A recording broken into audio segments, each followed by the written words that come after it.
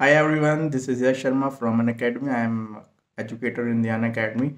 So I am coming out with a new batch for Delhi University entrance, and this batch is basically going to uh, cover all your syllabus and all your doubts. We are going to solve a lot of MCQs and everything.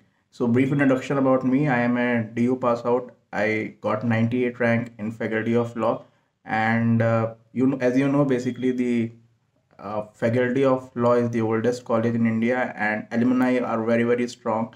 There are a lot of judges of the Supreme Court and the High Courts. Basically, those who are from the faculty of law. You have heard the name of the Justice D.Y. Chandrachud.